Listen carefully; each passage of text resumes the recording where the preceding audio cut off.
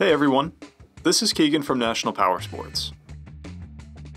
The 2018 Harley Davidson 48 Special with 169 miles passes New Hampshire State inspection and runs well. The 48 is a stripped down bobber with modern engineering and vintage Harley Davidson style.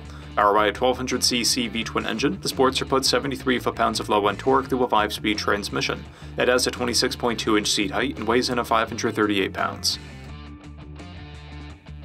To see everything we know about this vehicle, including full mechanical and cosmetic condition reports, the service repair order, high resolution photos, and more, please visit the listing on our website. We have also purchased the CycleCheck's Vehicle History Report. You can view this report by clicking the link on the right side of the video.